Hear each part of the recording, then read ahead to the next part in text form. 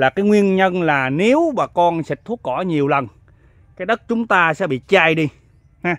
Trong các những hoạt chất của thuốc diệt cỏ nó sẽ có những cái hoạt chất gây ra là ngộ độc như là thuốc cỏ trái nè à, dạng như lưu dẫn nè. Nó cũng có thành phần rất là hại cho cái cái đất chúng ta.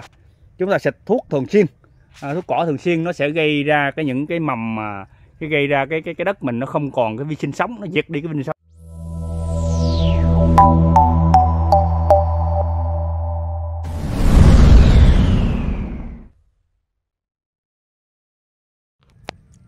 Minh Nguyễn Miệt Dường xin à, kính chào bà con nông dân. Kính chào những đồng hương đam mê trồng dừa nha. Thì hôm nay Minh Nguyễn sẽ chia sẻ cho quý bà con à, cái một cái à, kinh nghiệm thực tế à, về cái à, cái việc tại cải tạo đất à, chúng ta nha. Vì sao chúng ta trồng cây dừa hoài trồng mãi mà à, cái cây càng ngày càng càng cội bị suy kiệt không có trái ha? Thứ nhất là cái trái nó nhỏ thứ hai đó là nó nó nó bị tấp đọt teo đọt đó một phần là do bà con nông dân à, không biết cái, cái cái cách mà để xử lý cái à, cái đất của mình. Đó cái cái đất là cái cái cái cái, cái bao tử cái, cái cái sự sinh tồn của cây dừa. Đất tốt á, thì nó sẽ giúp cái cây dừa mình phát triển rất là mạnh ha. Ngoài ra chúng ta bổ sung những cái loại phân đạm phân này kia là để chỉ hỗ trợ cho cái dinh dưỡng nhưng mà quan trọng nhất là cái đất cái từ cái đất đó chúng ta nó sẽ cái cái bộ rễ đất tốt thì cái cái bộ rễ cây nó phát triển rất là mạnh. Đó. Thì chính vì nội dung video hôm nay thì minh nguyện sẽ chia sẻ cho bà con cái ờ, cái video này mình nói về tại sao à, là trồng dừa không nên xịt thuốc cỏ. Đó. Đây nè. Thì ờ, cái à, bằng chứng là mình đã à, hôm nay mình phát cỏ bà con thấy không? Cái mặt đất của mình à, phát cỏ rất là nhiều nè. Đó. Đó là mình phát là phát cỏ nè. Cái cái cỏ này mình mới vừa phát xong đó để lát mình quay cái khúc mà mình chưa phát cho bà con thấy. Tại sao mình mình dùng sử dụng cái máy phát cỏ mà mình không à, xịt thuốc cỏ? Là cái nguyên nhân là nếu bà con xịt thuốc cỏ nhiều lần cái đất chúng ta sẽ bị chai đi ha. Trong các những hoạt chất của thuốc diệt cỏ nó sẽ có những cái hoạt chất gây ra là ngộ độc như là thuốc cỏ trái nè à, dạng như lưu dẫn nè. Nó cũng có thành phần rất là hại cho cái cái đất chúng ta. Chúng ta xịt thuốc thường xuyên à, thuốc cỏ thường xuyên nó sẽ gây ra cái những cái mầm mà cái gây ra cái cái cái đất mình nó không còn cái vi sinh sống, nó diệt đi cái vi sinh sống cho đất nha, cái đất như bạc bà con. Đó, cho nên chúng ta sử dụng là sử dụng cái cỏ để chi? Một công hai chuyện. Nó cỏ là vừa sự giữ à, lực, được độ ẩm cho đất nè, đúng không? Đó, bây giờ bà con xịt thuốc cỏ cái mùa này thì đất ẩm thì không nói đi. Tới cái mùa nắng đó bà con biết không? Tới cái mùa nắng á, thì cái dừa chúng ta nó sẽ bị khô cằn. Đất nó lúc nào cũng bị khô. Thì nhờ cái cỏ đó nó sẽ giữ lại độ ẩm nếu mà bây giờ chúng ta diệt cỏ hết ha diệt cỏ sạch sẽ hết thì nhìn cái cái à, cái vườn chúng ta rất là thông thoáng đẹp đó. Nhưng mà quan trọng chúng ta trồng dừa trồng cây gì muốn cho nó lợi nhuận từ cái trái nó sinh ra hay là muốn cho nó sạch đẹp đây. Đó cái đó là cái vấn đề bà con nên suy nghĩ suy nghĩ lại. Có nghĩa là bà con xịt thuốc cỏ nhiều thì cái đất chúng ta rất là sạch nhưng mà quan trọng đất nó sạch nhưng mà nó không có độ ẩm cho đất. Đó thì 6 tháng nắng á, bà con biết không? Cái tháng nắng này rất là là, là, là, là khắc nghiệt cái đất nào à, cái cái cái bà con tưới không bao giờ mà chịu nổi nó à, lượng nước. Cho nên chúng ta phải dự, sử dụng cái lượng cỏ này nè nè. Đó bà con thấy không đây nè? Đó mình chém mình phát cỏ bà con thấy nó đều đều đều, đều nhau không? Thì lâu ngày cái những cái cỏ này nè bà con. Thứ nhất nè mình chỉ cho bà con một cái tuyệt chiêu luôn. Khi bà con à, vô phân á bà để bà con để cỏ ha nó để cỏ tự nhiên vậy ha. Rồi khi bà con rải phân xuống rồi bà con phát cỏ cho mình lấy sử dụng cái máy phát cỏ đó lát mình sẽ quay cái máy phát cỏ à, cho bà con thấy nè. Thì cái những cái lớp cỏ này nè bà con nó tủ lại những cái học phân của bà con. Đó nó tủ lại những cái học phân mà bà con rải á. Vô tình nó giữ được cái độ ẩm cho phân rất là tốt. Là mà cái thứ nhất cái thứ hai nữa là cái à, cái cỏ này nè nó sẽ từ từ nó sẽ quay mục ra. Đó là cái nguồn phân hữu cơ dồi dào nhất cho đất. Sạch bệnh không có bị nấm khuẩn này kia ha bây giờ chúng ta cứ tận dụng à, bà con cứ hay có cái thói quen là sử dụng phân chuồng nhiều. Thưa bà con bà con sử dụng phân chuồng nhiều nó là một cái con dao hai lưỡi rất là nguy hiểm. Nó là rất là tốt cho đất ha. Nó có thể cái phân chuồng có thể là cải tạo đất tăng cường dinh dưỡng cho cái cây trồng. Nhưng bà con nên nhớ một cái câu nhưng của Minh Nguyễn nha nó là cái cái mầm bệnh rất là cao sẽ gây ra cái hiện tượng là dừa thối đọt. Đó hiện nay là Minh Nguyễn đã à, là nhận được khoảng là bốn năm trăm bà con là vì cái hiện tượng thú đọt mà đa số là 70% là sử dụng phân chuồng nhiều. Đó là mình thống kê cho bà con trong thời gian vừa qua mình đã có gửi rất là nhiều cái gọi kiện hàng mà thú đọt là do bà con à, sử dụng nguồn phân chuồng. Đó không tận dụng cái nguồn phân hữu cơ tự nhiên. Và bà con cứ à, sử dụng cái nguồn phân chuồng nhiều không thì nó sẽ gây ra thất bại nha bà con ha. Đó cho nên cái kết luận bây giờ thì bà con không nên xịt thuốc cỏ trên vườn dừa mình đó rất là nhiều bà con à, có hỏi mình trồng dừa có nên xịt thuốc cỏ hay không? Mình xin thua bà con mình sẽ sử dụng cái câu là tuyệt đối không sử dụng à, thuốc cỏ để chi? Bà con xịt thuốc cỏ rồi nó sẽ diệt được cái mầm diệt đi cái mầm sống của đất không còn tốt nữa ha? Đó mình nguyện chia sẻ cho bà con ha. Đây là cái máy phát cỏ của mình đây. Cái máy phát cỏ này là có công dụng hai chiều. Đây nè bà con thấy không? Bà con sử dụng cái ổ cước á. Nè ổ cước nè ra tiệm mua cái ổ cước rất là rẻ nè có dây cước luôn nè bà con thấy không? Quấn vô ổ luôn. Bà con xài một cái ổ cước này có thể nửa năm trời bà con mới thay dây. Tại mình luồn trong đây là 2 mét dây nè bà con. 2 mét dây ổ cước này luôn để nó khi mà nó nó nó nó, nó sẽ mòn. Mòn hoặc nó đứt lâu đứt lâu đứt lắm nha bà con. Đứt thì bà con xây vòng lại. Nó sẽ ra nữa tại trong đây mình quấn cứng là tới 2 mét là rất là tốt nha. Và cái máy này nó nó có một cái công dụng hai chiều như sau. Đây nè khi bà con mùa nắng á bà con sử dụng gỡ cái đầu đỏ gỡ cái cái cái cái này ra thì bà con gắn cái đầu tưới vô.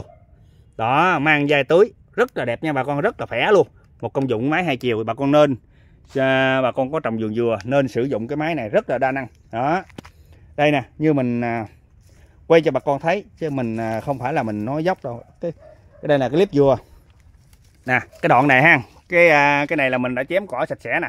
Mà thấy bà con thấy nó bằng răng ha đây là mình chém cỏ sạch sẽ nó xanh chành đất luôn như vậy chứ không phải là mình sử dụng cái gì hết. Đây cái cây dừa của mình nè nó một clip dừa đây ha.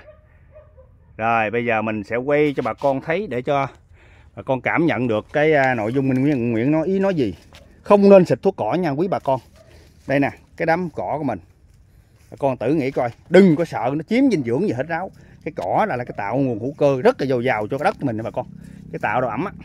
Nè cách mình xử lý cái vườn vườn mình, mình bà con thấy không? Nó trái cực kỳ trái luôn. Đây. Đó bà con thấy cỏ không? Đó là chứng minh là cái cái clip mình nè để cỏ tự nhiên. Ra nè đó để cỏ tự nhiên cho nên là cái đất mình nó rất là tốt ha. Khi mà cái đất tốt rồi bà con vô phân cái gì vô phân gì xịt thuốc gì cái dừa mình nó cũng ok hết. Chứ con đất cằn cội và con muốn khắc phục lại mà con rải vài ba ký đạm dài ba ký à, lân dài ba ký phân này kia vô thì nó sẽ giúp cái tạm thời cây dừa nó phát triển. Nhưng mà cái độ lâu dài về sau, cái đất mình không còn màu mỡ nữa. Đó, đất nó bị chai đi. Rồi ha. Đó, bà con thấy chưa? Nè. Đó, mình quay điển hình cho bà con thấy nè. Là mình đã có trồng rất là nhiều dừa nhưng cái kinh nghiệm thực tế của mình. Đó, bà con thấy không? Xử lý cái vườn dừa trái rất là nhiều. Đó. Thì một công hai chuyện, nếu bà con muốn có những loại thuốc mà xịt chơi cái dừa đậu trái ra đậu trái ra kiểu vậy ha đầu trái như vậy ha. Đó, và như vậy đi, chẳng hạn như vậy. Đó, mình quay cho bà con rất là nhiều cây nha. Chứ không phải một cây đâu nha. Đó, trái nha. Lượng trái đùm đùm luôn. Trái to, khỏe luôn. Đây, bà con thấy chưa? Còn nó không bỏ cổ, nó đặt đặt gật luôn. Bà con thấy chưa? Nó đặt gật luôn. Là lý do mình xử lý được cái độ phì nhiêu của đất. Rất là tốt nè. Đó, bà con thấy chưa? Có nè, bên mông. Đây một lát mình đã, đã chuẩn bị đi phát tới à, phát cỏ tới ha. Cho nên mình à, ra một cái video để cho bà con chút thêm một cái kinh nghiệm là trồng bất cứ cái gì đừng bao giờ xịt thuốc cỏ. Bây giờ bà con à, không có xem thông tin trên mạng chứ ở thực tế ở trên đồng tháp bà con đồng tháp trồng rất là nhiều loại cây. Nhưng người ta đã cố tình người ta đã bây giờ ta sẽ trồng lại những loại cỏ tự nhiên như vậy. Để chi không để người ta tạo giữ cho ẩm cho đất. Mà tại vì sao bà con thiếu cái kinh nghiệm đi? Nó thiếu kinh nghiệm bà con cứ xịt thuốc cỏ hoài cho nó sạch sẽ là thì thành ra cái cái giường bà con không có đạt. Đó. Thấy chưa? Rồi, thì Minh Nguyễn nói những cái ý tưởng như vậy để cho bà con có cái kinh nghiệm, sâu xa để cái kinh nghiệm à, thực tế để à, chăm sóc cái vườn cây trái mình ha, vườn vườn dừa của mình. Trong dừa trong cây gì đừng bao giờ xịt thuốc cỏ. Đó là cái à, thông điệp hôm nay. Minh Nguyễn muốn gửi đến bà con một cái kinh nghiệm thực tế của nhà nông. Đó đây là toàn cảnh vườn dừa của mình nè. Mình trồng gần một hecta là nha quý bà con. Cho nên à, mình lấy cái kinh nghiệm. Thì bà con nói rằng nếu mà không xịt thuốc cỏ thì cỏ lên làm sao chịu nổi. Không có gì hết bà con. Đây, mình à, sẽ minh chứng cho bà con một thời gian. Một thời gian thôi nha bà con. Một thời gian thôi. Vừa tầm 7 năm 8 năm. Nè, bà con thấy cái clip ở ngoài này à, clip bìa, thì nó có ánh sáng. Thì cỏ nó lên rất là nhiều, ha hả có ánh sáng thì cỏ lên. Nhưng mà khi khi nó đã được 7 8 năm tuổi thì cái dừa chúng ta cái đất cái vuông chúng ta nó sẽ bị rập đi. Dừng trồng thưa cỏ nào thưa nó cũng sẽ bị rập đi. Thì cái diện tích cỏ tự nhiên nó sẽ hạn chế nó không còn lên nhiều nữa. Đây. Đó bà con thấy chưa? Đó. mình nói có sách thì mới có chứng đây là clip trong. Đó clip trong đây. Clip trong này ha bà con thấy không? Nó nó, nó sạch sẽ luôn. Đó. Nó không còn cái loại cỏ gì hết ráo luôn nè, nó còn mà leo que, leo quét không à cho nên bà con đừng có lo. Cho nên là hồi, từ xưa giờ mình Nguyễn không xịt một hột à, một giọt thuốc cỏ nào luôn trên cái vườn dừa mình. Thì cái dừa mình vẫn là sạch sẽ luôn. Đó. Đây. Dừa mặt trong đây. Trái, cực kỳ trái luôn chứ không phải là không trái rồi đó bà con thấy chưa? Ok chưa? Thôi, thì Minh Nguyễn à, xin kết thúc video clip à, hôm nay với cái thông điệp là trồng dừa đừng bao giờ xịt hút cỏ. Và thấy video hay, cho Minh Nguyễn một lượt subscribe hoặc à, một lượt à, like một cái like mà con để khích lệ tinh thần. À, làm à, cho bà con có cái động lực nhau để mà giúp à, nhà nông cùng nhau phát triển làm giàu từ cây dừa. Và bà con muốn tìm hiểu mua thuốc xịt dừa các loại thuốc xịt dừa dưỡng dừa dưỡng trái chống rụng trái khô đen bông và nứt trái. Đó thì bà con cứ Zalo về cho mình qua số điện thoại mình ghim trực tiếp trên cái video này đó bà con muốn có loại thuốc thì mình sẽ giao cho bà con trên toàn quốc nha bà con. Đó, thì mình là kênh Minh Nguyễn Miệt dương chuyên chăm sóc cây dừa đặc biệt là cây dừa. Thì bà con có nhu cầu gì cứ comment về bình luận về. Thì Minh Nguyễn sẽ à, à, nhín thời gian ra bà Minh Nguyễn sẽ trả lời bà con hoặc bà con muốn liên hệ mua thuốc thì mình sẽ giao hàng cho bà con trên toàn quốc nha bà con. Thôi kính chào quý bà con chúc bà con áp dụng thành công với cái mô hình là trồng thuốc không bao giờ, trồng dừa không bao giờ xịt thuốc cỏ nha bà con. Rồi, chào bà con.